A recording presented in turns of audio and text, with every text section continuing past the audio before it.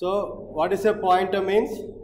It is a variable which stores the address of another variable. Simple definition. Pointer means it's actually a variable which stores the address of another variable. So, our variable can be what type means it may be any type like integer, char, array, function, anything. So, this is a general variable n equal to 10. N equal to 10 will be stored in some address. That address will be stored in where? Pointer p. This is the meaning of it. When we will declare a pointer as int star p, p equal to address of n. n is a value. n is a variable which storing the value 10. So n has some address. That address will be stored in the pointer p. That's why we call as pointer is a variable which stores the address of another variable. Very simply, pointer.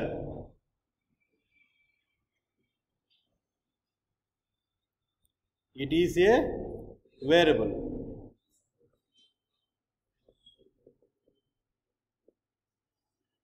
Which stores the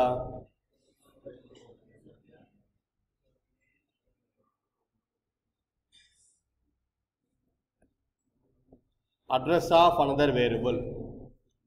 Now I am declaring a variable int a equal to 10. This is a variable. This variable will store memory locations like this. This address like address may be 001, 002, 003, 004.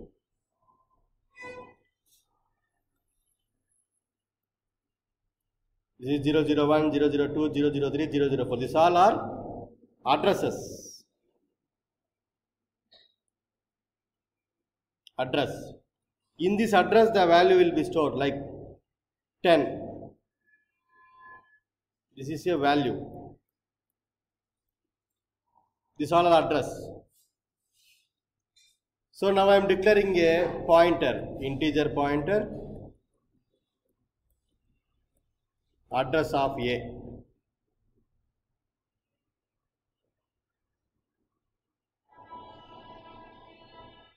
This operator is called as address operator. This denotes the pointer. So now P consists of what means? P will be address of A. A consists of what? Value 10. A consists of value 10. P consists of address of A. If you use a address asterisk of P means this as well we will get the value. Value at the address of P. The meaning of this is value at the address of P. And if you use address of P means this is the address of P. Here you should remember two things, two operators. Two things are important. One is ampersand, other one is asterisk. This asterisk represents the value, this represents the address. Blindly you remember that before a variable there is a ampersand means it will give address. That may be a ampersand of A will use the address, ampersand of P will use the address. Before any variable if there is ampersand means output will be address. Before a variable there is a asterisk means value. Asterisk P means value. These two things you should remember.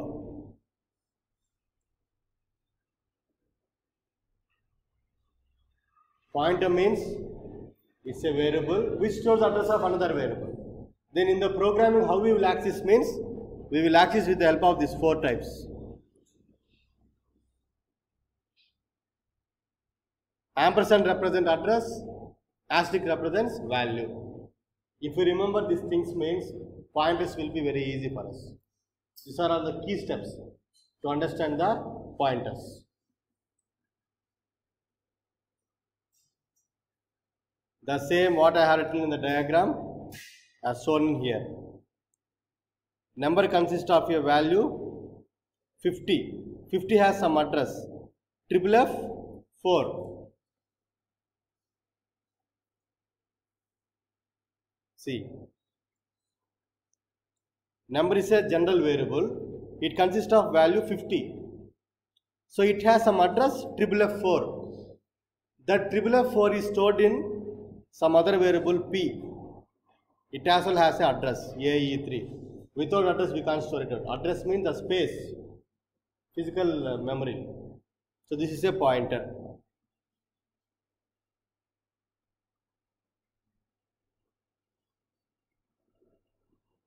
Point is always represented with the help of asterisk symbol. So it is a A pointer, integer pointer.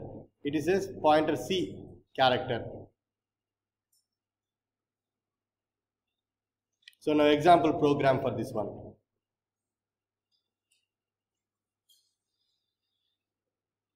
C program starts from main. I am declaring a value 50 and I am declaring a pointer star p. P is address of number. So first I am printing what? P. P contains the address of a number. Again I am printing what? Star P. Star P means value stored at that location. So now what will be the output means? For P is address, again for P is address, then star P is for value. This is a simple program that demonstrates the using of pointer. Now I will write one more example.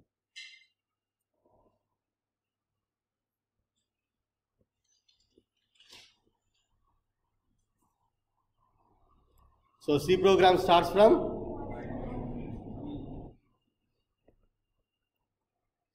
I am declaring a variable, integer variable. Again I am declaring a pointer.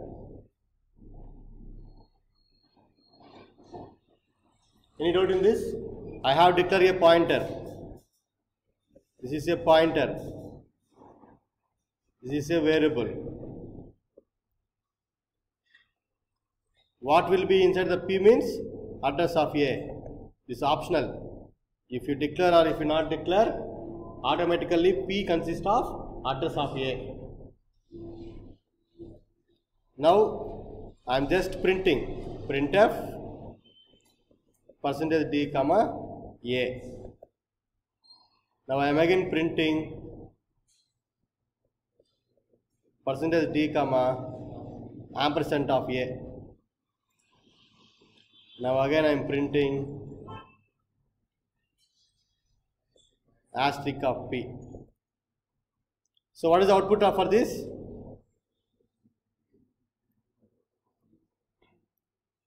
What is the output?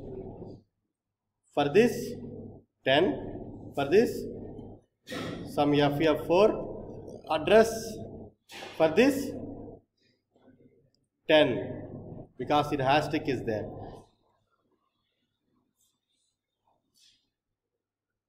This is a pointer.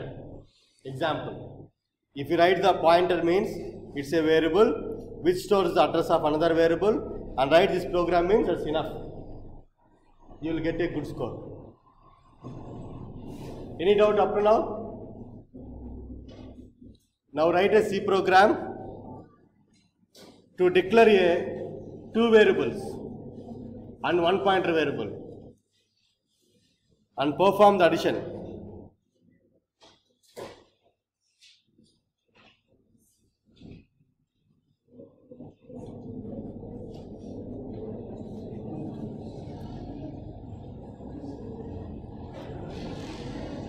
Before that, we will go a little bit deeper.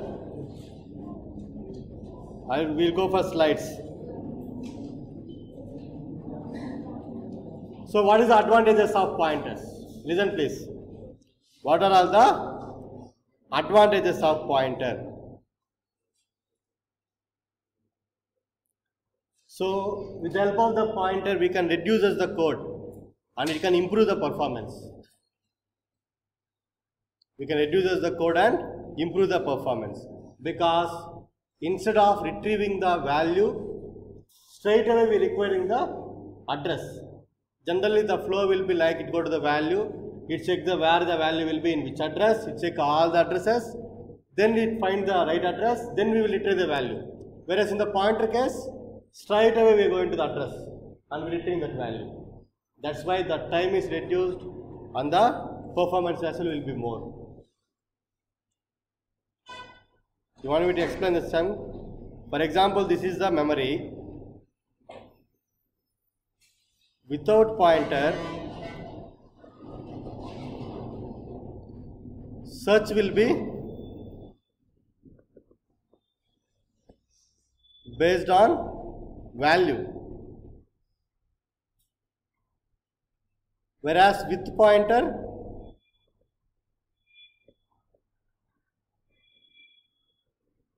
search will be based on address. So it searches the value where it is. It may be, it checks is value is presenting here or here or here or here. If value matches means, then we retrieve the address here. That is the without pointer. With pointer means straight away it will go to here, exact location and we retrieving it out. That's why no need to check other things. That's how the pointer will get to reduces the code and improves the performance. And we can return multiple values as well from the function. Whereas previously we can return only one value, return A or return B. Here we can able to return multiple values. And we can access the memory location.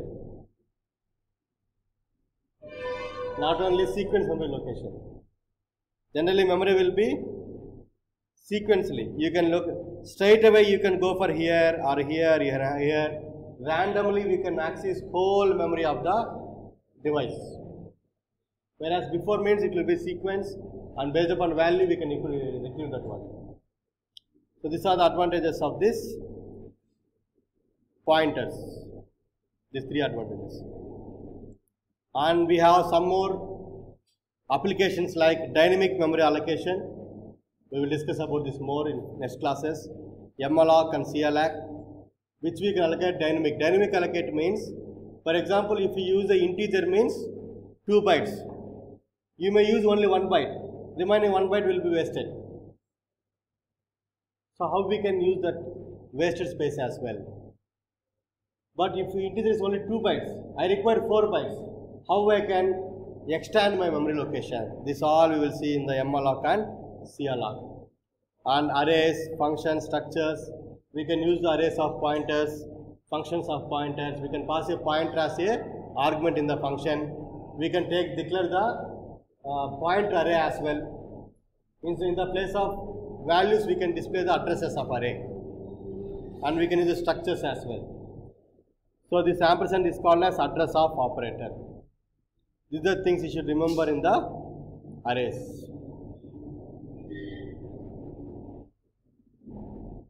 And we have null pointer here. What is a null pointer means? A pointer which is not assigned any value. That is called null pointer, empty. Empty pointer we call as empty not assigned any value means then we call as null pointer. Previously we have assigned star p equal to ampersand a. It says that it stores the address of a. Whereas here I am storing instead of ampersand I can use asterisk p equal null means I have a address but it has no any value.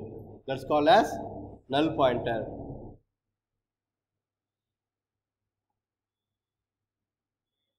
So point arithmetic operation means similarly we can increment the address, decrement the address, we can add the address, we can subtract it out. This all are the arithmetic operations, point arithmetic.